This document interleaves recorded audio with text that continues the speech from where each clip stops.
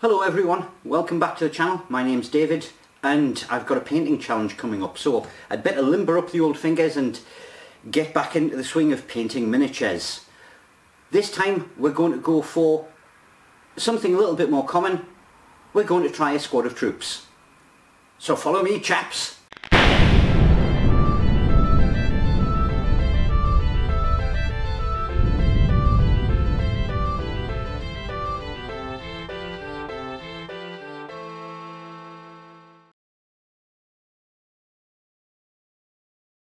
Now, the last force you saw me painting were Cybermen from Doctor Who.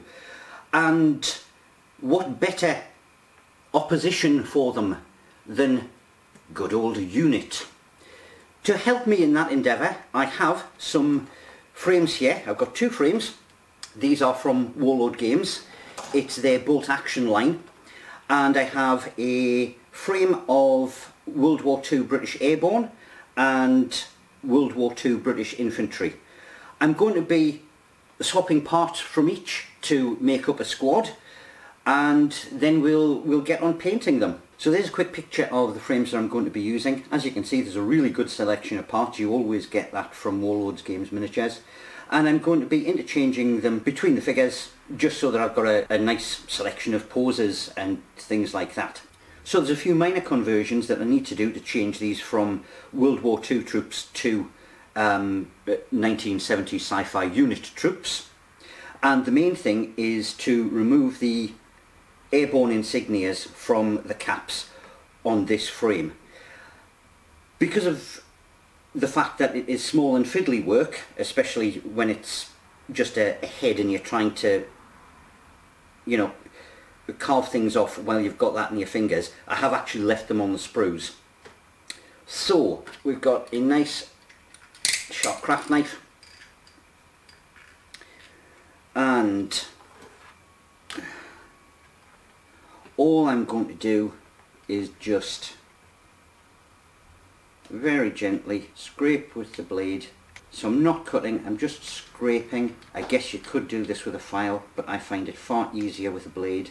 And just clean that off in exactly the same way that you would if you were um, cleaning excess flash off around the edges okay so I'll get on with these and the other thing that I need to do on this one um, because they are going to be using Sterling submachine guns some of them because they are in battle have got bayonets attached to the end so I'll clip those off because unit never used bayonets. I'll crack on with these and then start getting them assembled. So the chaps have been converted, assembled and based. All of the cap insignias have been removed and they have had round unit badges put on in their place. If you want to know how I did that, it was using one of these. This is a 1.5mm hole punch and I just used the little excess bits from the inside. Um, it was reclaimed um, sort of plastic packaging that I used for those. So they've been glued in place. You'll have seen those in the photo. These are now ready to go off for an undercoat and then the first base coat. And for that I am going to be using this. It's a Tamiya spray. It is olive drab.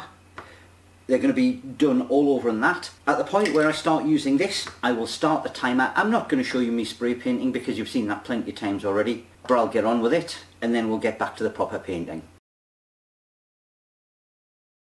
Right, I'm not going to go massively overboard on um, painting on this session because it's been a really long day already um, but as you can see the base coat of olive drab has been done and just over 1 minute 30 seconds to to get the spray coat on. As last time I have my paints set up in the order that I'm going to be using them. Hopefully I'll be able to get them to at least the sort of minimum uh, three colour by the time this session finishes.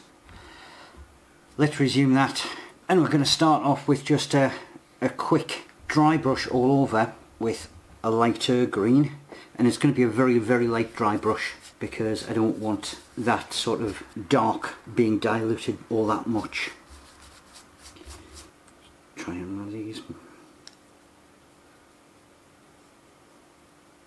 And that's broken it up okay just to get a wee bit of highlighting on these uh, on these uniforms. And we're going to be going over with a wash coat later on just to dull it all back down again. Okay actual colours now. Let's temper some black. So this is essentially going to be the base of metal on any of the weapons and of course their boots. I'll get all the boots done and then I'll come back and do the weaponry so we've got the boots done we've got the undercoat on the metal now I'm just going to give it a quick dry brush over the metal parts with... I'll have to get that on charge. Um, with some metal colour. And while I'm trying to be very careful not to get it on the um, green of the uniform, when it comes to people's hands or things like that, I am not too worried because obviously the flash colour for those has not yet been painted. Now I'm going to dull that metal back down with a spot of black ink.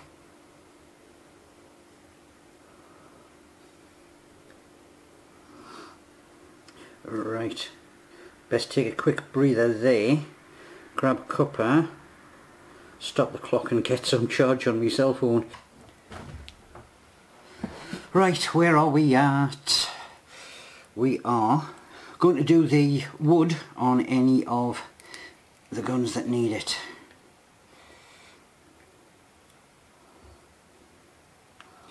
I'll choose a small brush for this. I've chosen a finer brush because I am having to go around some of the metal parts that I've already dry brushed over. Now it may seem as if I've chosen quite a light coloured wood which I have but on the understanding that it's going to be getting a darker wash to tone it down later on in the piece. Last coat of paint for tonight. Eagle-eyed viewers will notice that I swapped this one in. The other pot is a lighter colour and I wanted this darker so let's get hands and things like that painted in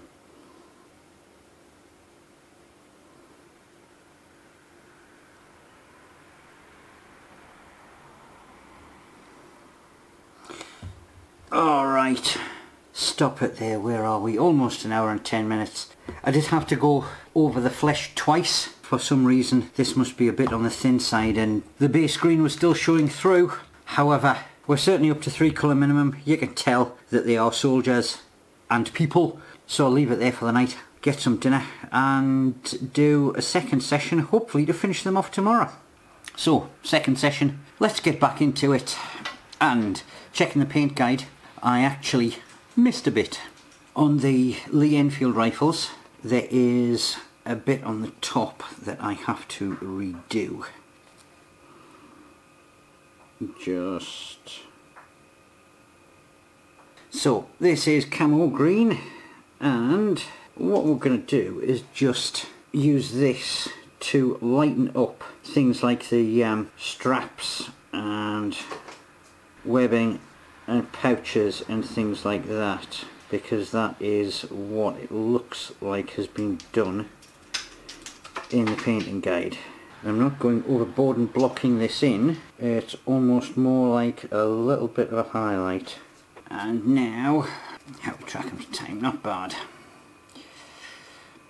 Hopefully, I want to manage to get all of this done in one sitting. Right, there's a few ropes and things like that on some of the airborne ones, so we'll just get them marked in.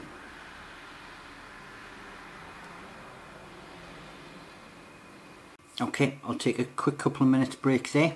Getting there. A little bit of colour mixing this time. So now we are on to hair. Bit of that. Done that. And where are you? There you are.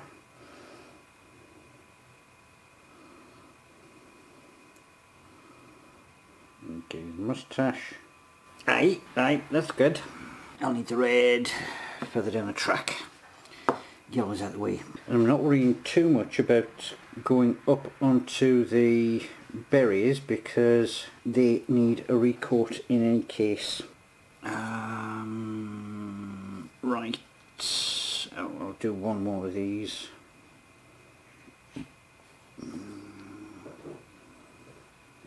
Actually, just rearrange so I know which ones have been done. There, there, there. Right, here, all done.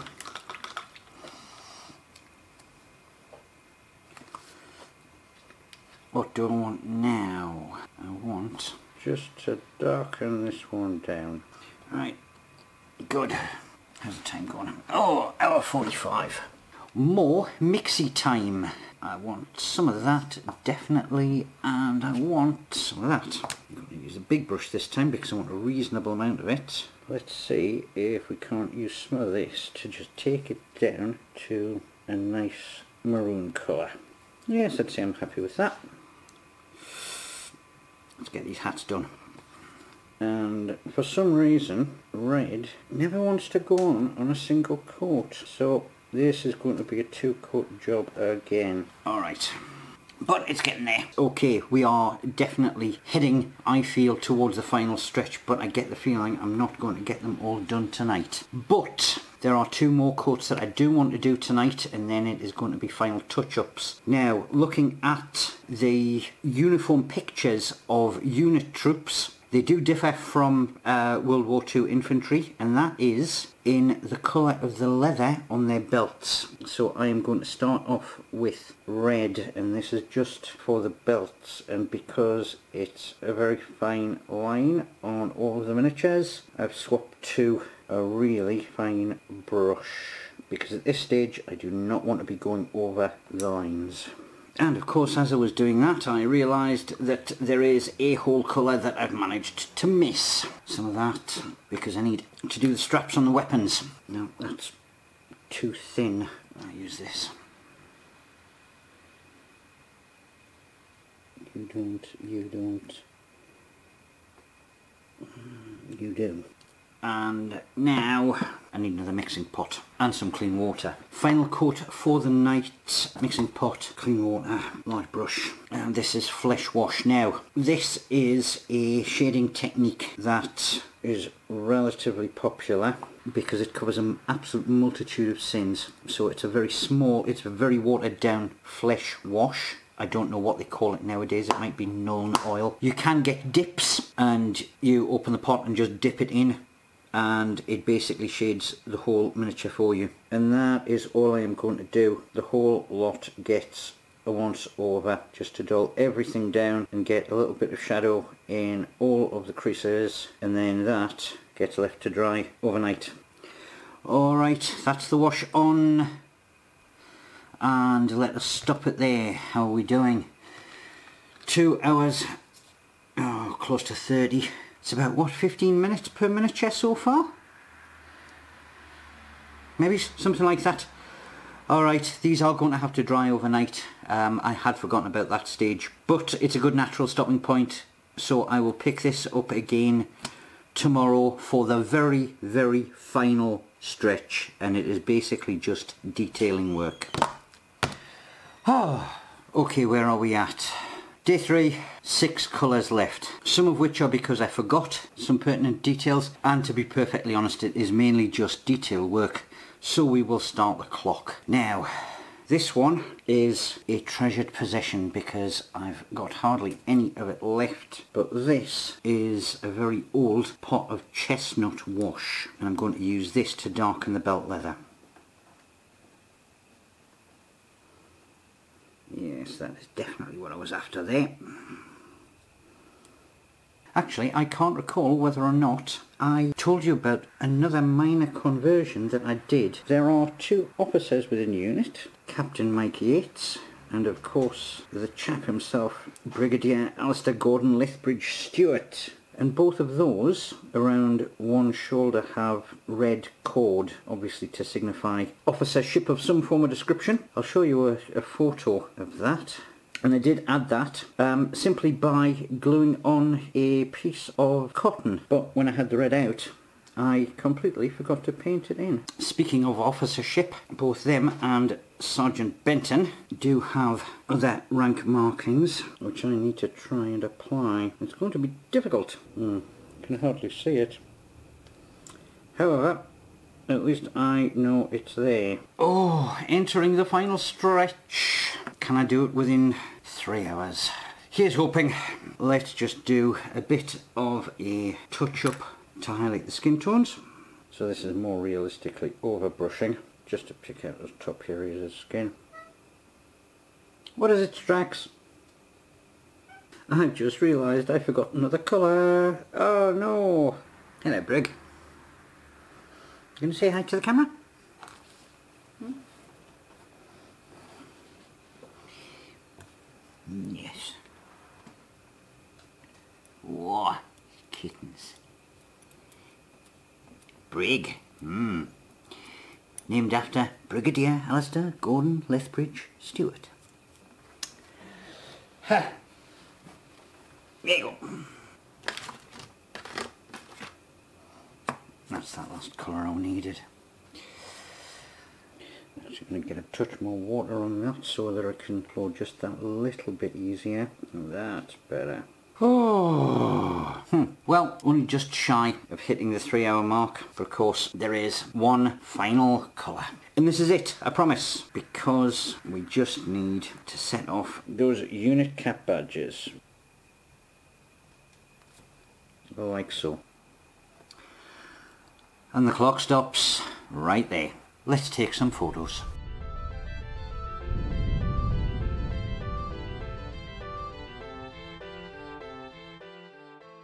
Well, that was far more like hard work than I expected it to be. However, hard work paid off and a little bit over three hours, basically an evening, and I've got a squad of 11 all painted up and ready to go. Yes, it was cut over three sessions, um, but that's all good. They are off the pile of shame and onto the completed pile. And it's probably a good job as well because these guys I got one of the the frames free from a, a bulk load of stuff from Warlord Games. Um, they're really good like that. And I thought oh I know exactly what I'll, I'll use those for. Um, bought another sprue to go with them. And then they kind of sat there and well I'm, I'm glad that I've got round to them.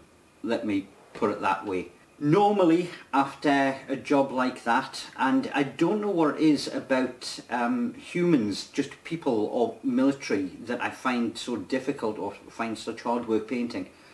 Um, I'm far better with monsters and, and aliens and things like that. Um, however after a hard session like that I would normally be treating myself with a character model or a vehicle or something like that. Remember those rules about bulk painting that I said back at the start? Unfortunately, I do not have the opportunity to do that because I have more bulk painting in very short order. So, if you wish to join me for the Terminator Genisys Force creation painting guides, videos, whatever you want to call them, the challenge, then please hit the like and subscribe and get notifications and I will be seeing you very shortly. Bye for now.